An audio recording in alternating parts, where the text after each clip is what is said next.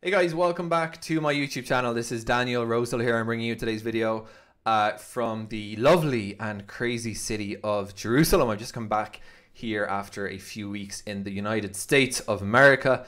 My wife's American. We went to visit her uh, her parents, aka my in-laws, and um, I was doing a little bit of video stuff for work today, an interview, and while I had the gear set up, I decided, you know what, I'm gonna do that video I did before about being an Irish Jew and uh, the Jewish experience in Ireland, just to do it again.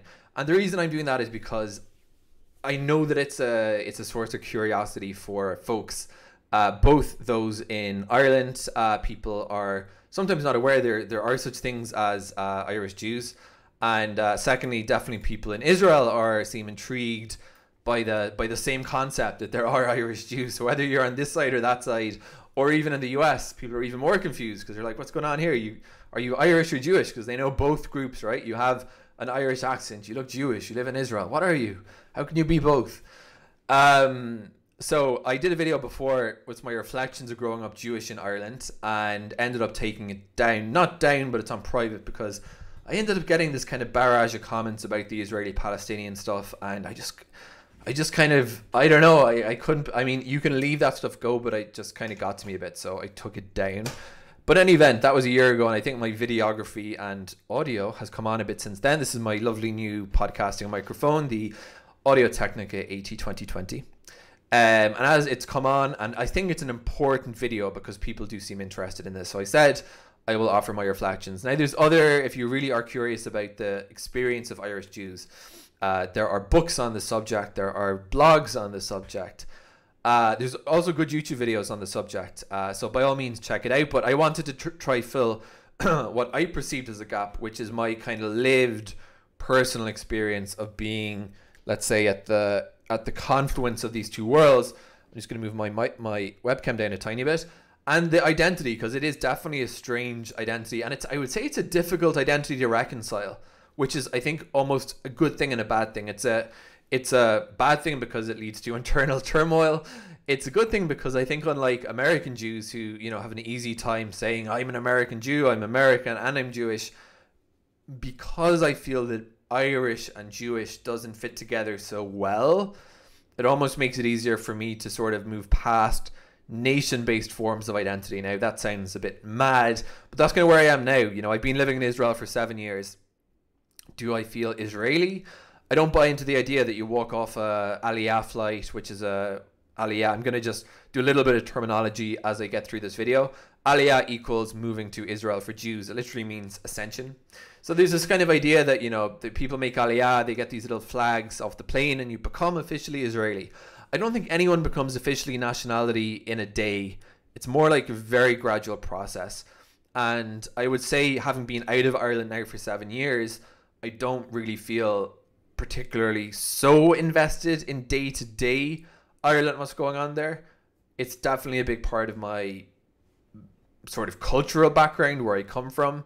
Is Israel? It's it's it's a very different culture from Irish culture, and it's very different to just snap into a culture like that. That really, uh, there's some facets of it that I don't think are are the best. Let's say, so the, the kind of answer is I, I feel like I'm between two worlds really and more actually easily define myself based on my interests and the fact that I'm Jewish because that is certainly a huge part of my belief system or identity than I do saying oh I'm formerly from Ireland. Now this is kind of the thing I get a bit touchy about this because I get asked I've got asked so many times over the past 7 years oh you're from Ireland and I developed the sad the regrettable uh, habit of becoming a compulsive liar because people would say oh, you're from where, where you know you, meet these people at these kind of mixer meals that you attend when you're new to Israel, and people say, oh, where are you from? And you said, so I began saying I've lived in a, a few different countries, which wasn't exactly untrue.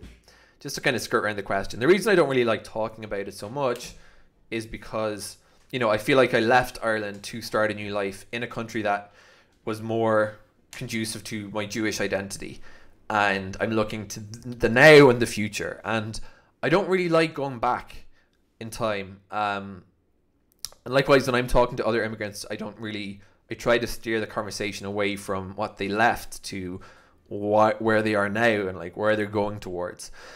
So, um, so that's that. Um, I want to talk in this video basically about you know just Jewish Ireland. Let's say what is it? How many Jews are there? But more, what was my experience? So let me just get some official the officialdom out of the way here. Um, here's Wikipedia's article on the history of the Jews in Ireland.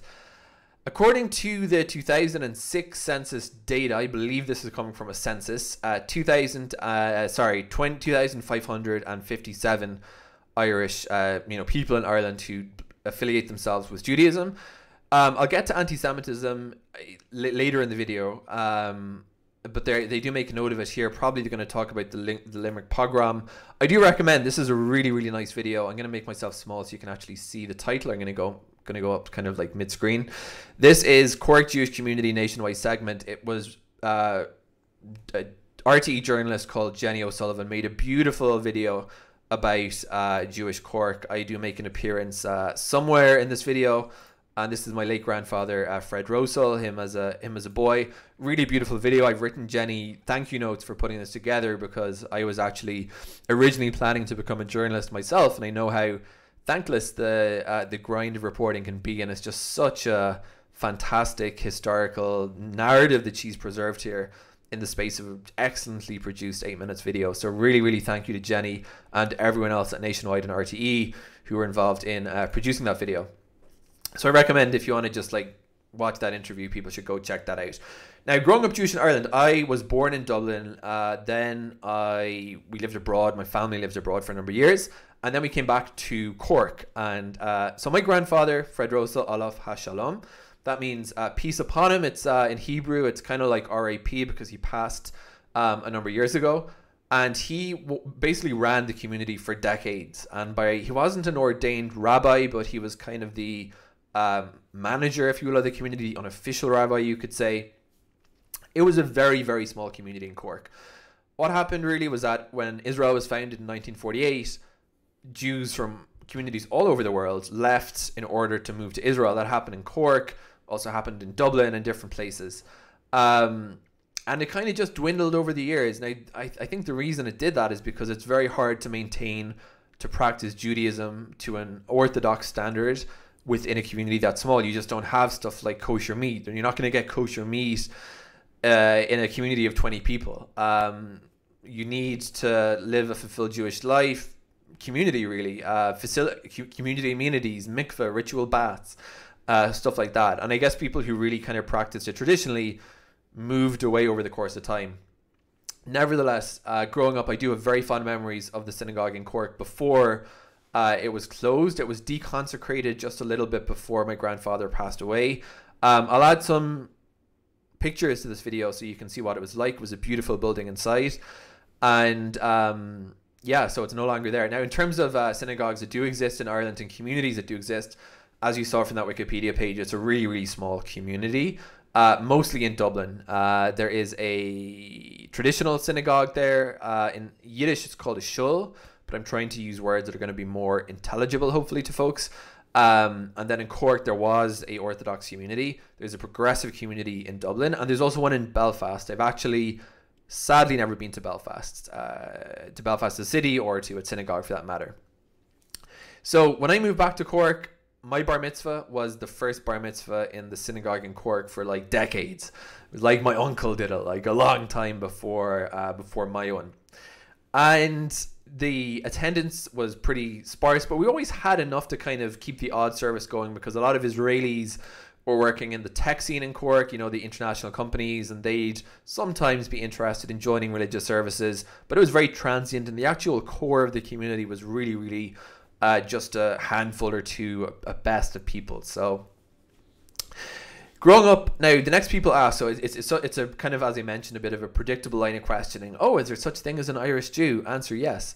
B uh, what about the irish really don't like israel? Uh, and c was there anti-semitism in ireland you experienced? Regarding israel definitely is true that ireland is by and large a very uh, very anti-israel uh, country virulently anti-israel.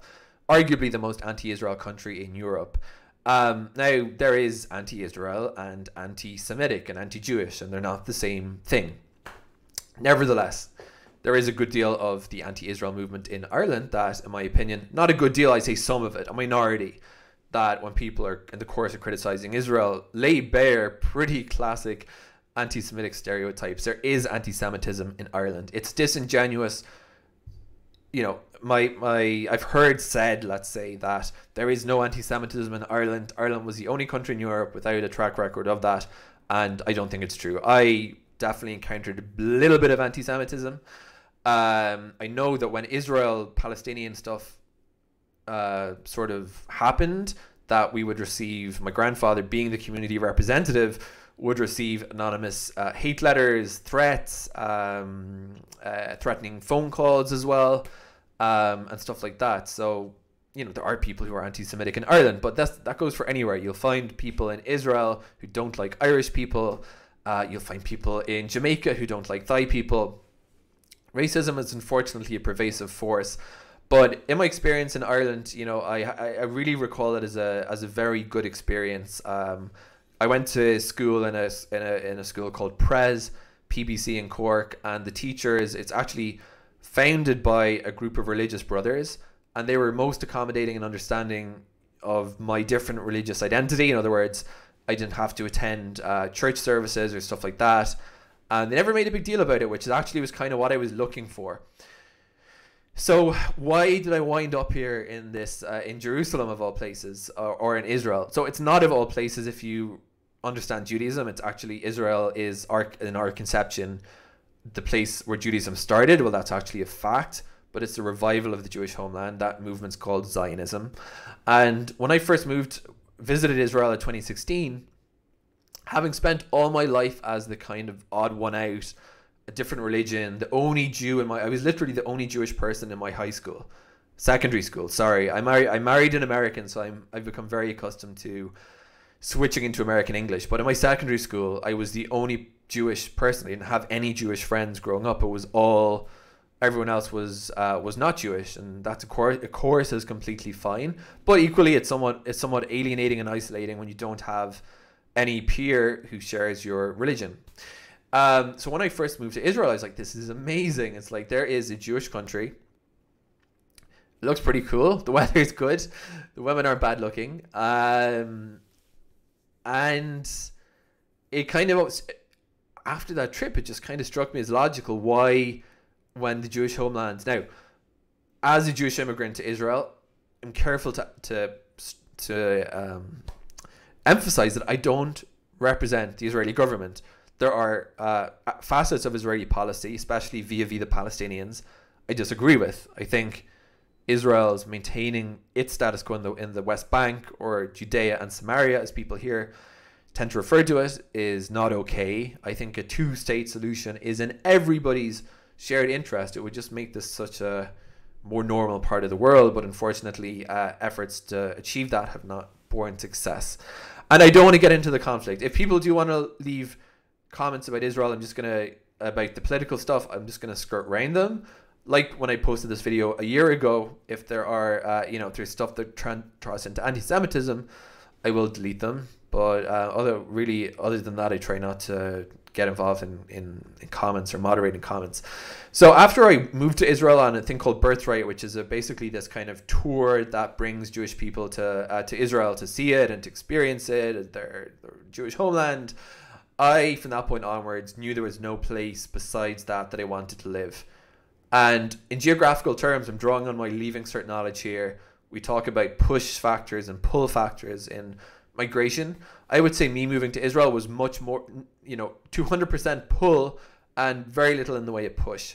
Pull in the sense that I wanted to be in a place where I wasn't the odd one out, where a place where I felt I belonged, that there was no conflict between my religious identity, my racial identity, and the identity of the country. On a more practical level, it was also easier to keep kosher and keep Shabbat, and you just can't do that in a in a place like Ireland where there's almost no Jews. Now, if you're not practicing Jewish, if you don't care about the religious stuff, it's a different situation. Um, so that was it, and then you know it took me until I was 25 to actually move to Israel for a variety of reasons that probably aren't worth getting into here.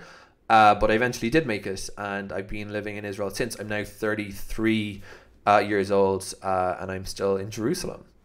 Are there Irish people here? Um, wait, I skipped one. Anti-Semitism in Ireland. So I did actually get into that. There was a little bit of it.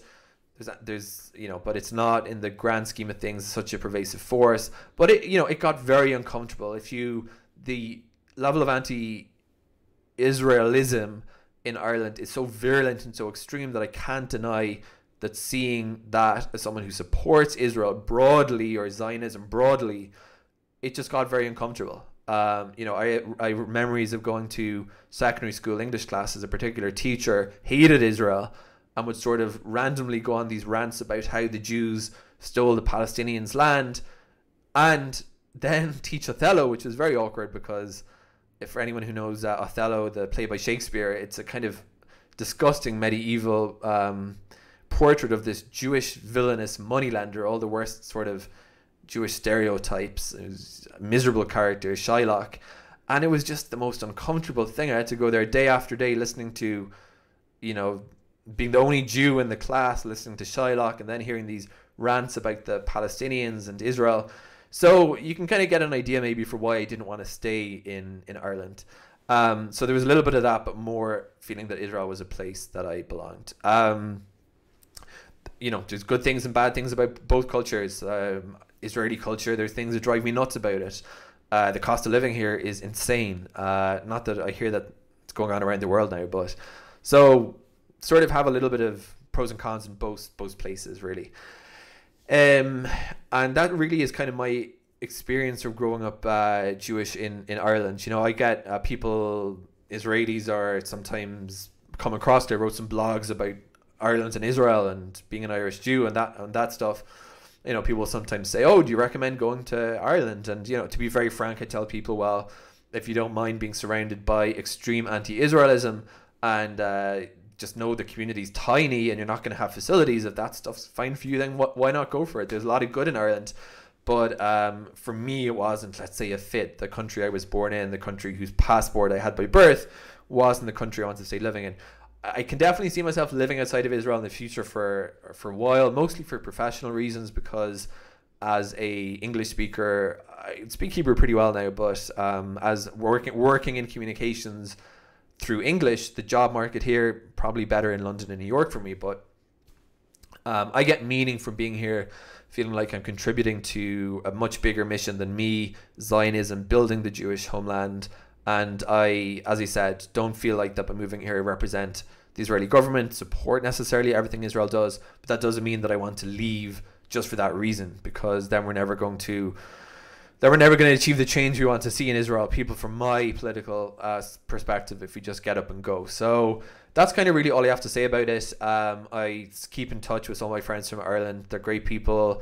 Uh, I'm very honored that they came to my wedding.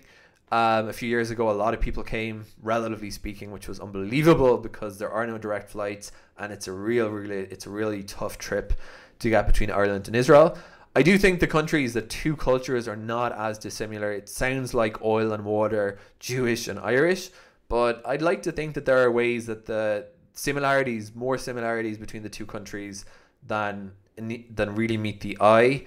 Um, all the political stuff aside, all the bad will aside, there's a lot of quiet cooperation between the two countries. I'm sure in terms of tech companies working together. Irish people, I don't think many Irish people visit Israel. Uh, a lot probably has to do with politics. Tended to be a tended to be an older person's thing. Uh, pilgrims and that. So and as Ireland's become less religious and more secular, there's less of those tourists the Irish actually love visiting Israel or have traditionally done so. I don't know if uh, that's still the case now. Um, it's kind of the antithesis of this conflict ridden part of the world. Oh, they kind of envision a land full of pubs and, and, and good times.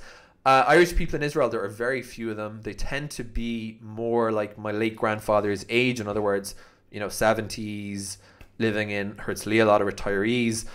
I have found a couple of young Irish folk my age here in Israel, but like I know two Irish people in Jerusalem if you were to ask me how many American people live in the city, I would probably see tens of thousands. So we're one of the smallest um, immigrant communities in Israel.